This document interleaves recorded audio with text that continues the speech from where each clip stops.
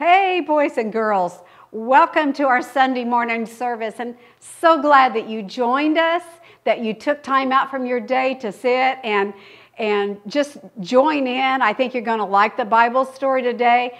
We're talking about kindness and all of the ways that we can show kindness in our, in our lives every day. So you be thinking about that this week as you go through each day, different ways that you should, can show kindness to your mom and dad and even your animals, even your pets. Yeah. So um, it's been a good week for me, and I hope it's been a good week for you. And I hope we get to be back together again really soon. Hey, are you ready to do your Jesus cheer? Yeah, we can't leave that out. Okay, are you ready? Okay, here we go. What's this? It's a J, isn't it? I'm trying to trick you. Okay, so give me a J. J. Give me an E. E. Give me an S. S. Give me a U. U. Give me an S. S. And what's that spell? Jesus. And who loves you so much? Jesus. And who do you love? Jesus. All right. Okay. Thanks for joining me in on that. It's more fun when Sarah's here, isn't it? She's off seeing her sister out west. I don't blame her. They may have snow out there, though. I don't know. Okay, so we've got a new memory verse today. We're going to finish out the next couple, three weeks with this. And I'm hoping that by the time we get through in the next couple of weeks that we get to be back together. And when you come back in here, I'm going to have this over on the table with a bunch of markers and you can decorate it all up because you can see I've only got one little teeny weeny flower there. So it needs decorated up, give it a lot of color. But our new memory, memory verse is God will help you. And maybe this week he's going to help you be kind to others, okay? He'll help you in all kinds of ways. So let's say it together, okay? God will help you. And it comes from First Chronicles 12th chapter, 18th verse. And let's put some motions to it, all right? God will help you. Simple motions. God will help you. All right, good job. So you work on that one. See if you can share that memory verse with your mom and dad and some friends this week, okay? We are ready for worship and we've got two new songs. So you enjoy them. Get up and dance.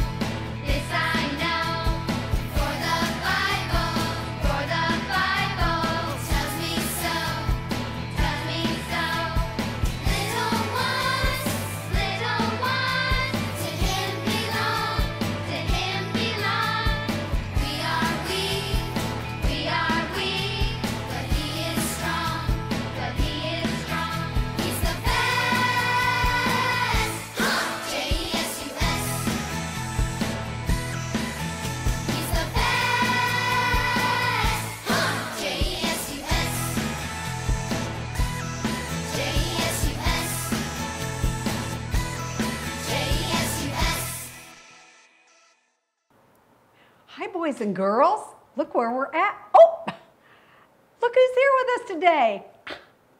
It's Daffodil. Look, teacher, I have some to show you. Hi, Daffodil. Tell me what you've got here. This is my con, con, uh, I mean commotion. Uh, well, I don't remember the right word. Okay, maybe it's collection. You've got a That's collection. right. That's my collection. Okay, I see. It looks interesting in there. What are these things that you've collected? You can't tell? Well, let me look. Let me see here. What do you got in here? Hmm. Maybe you could explain all these things to us. Yeah. Uh, and tell us why you're collecting these things. This is my nice, shiny rock. Yeah. I found it at the edge of the water and why'd you want to collect this? because it's shiny.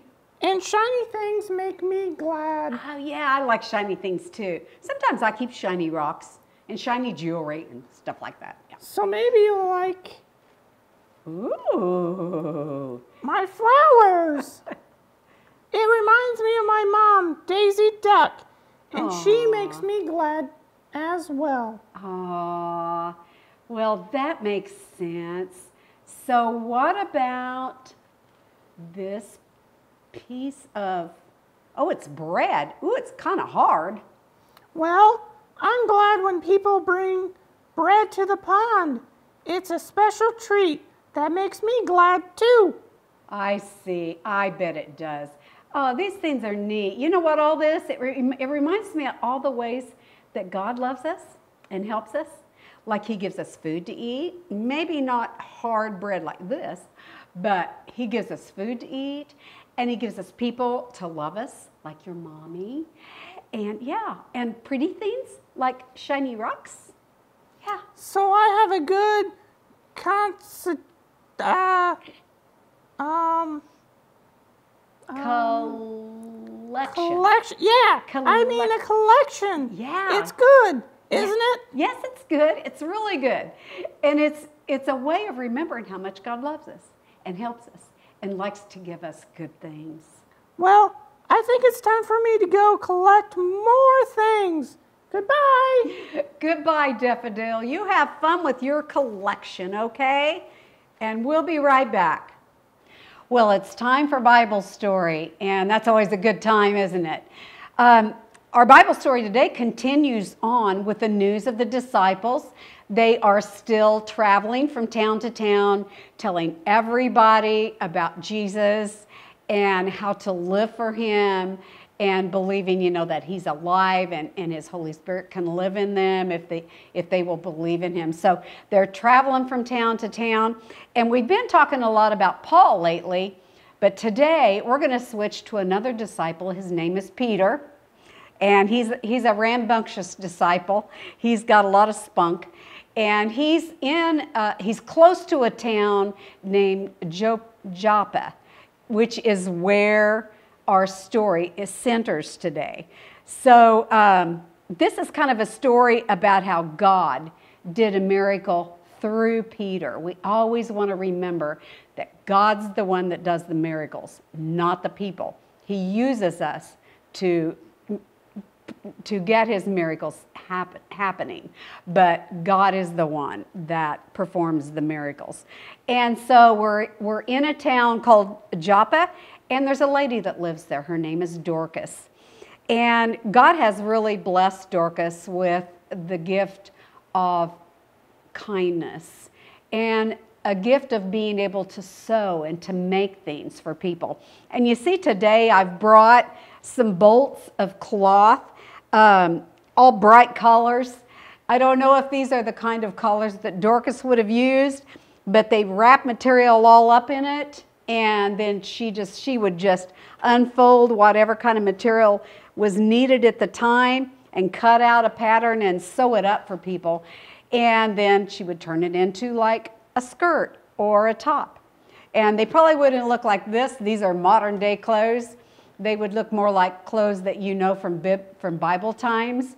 But she did it because she wanted to help people who really struggled, poor people who just had not much of anything. And she blessed them with making clothes for them. And they loved her.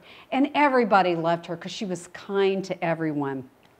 Well, our story doesn't end, it doesn't start really, really good because Dorcas gets really sick. And soon after that, she dies.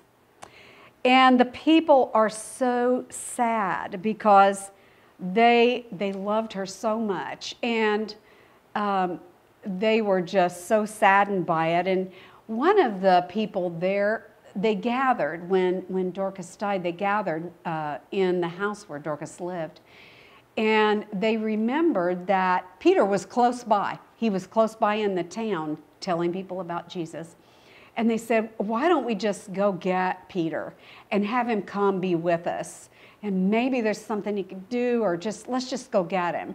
So a couple of the guys went and they got Peter and they, um, they talked on the way back, their journey back, walking back to where Dorcas was. And they told Peter all about all of the ways that Dorcas had showed kindness to all of the people by sewing and making clothes and just loving others. And so when they got there, they went on in the upstairs room. That's where Dorcas was at. And they were crying and they were all sad. And um, Peter talked to them for a little bit. And then he said, You know, I'd like to just he kindly asked them all to just leave the room for a little bit. And so they did. They went downstairs. And so this just left Peter with, with Dorcas's body. And so Peter, after everyone had gone, Peter got down on his knees and he prayed to God.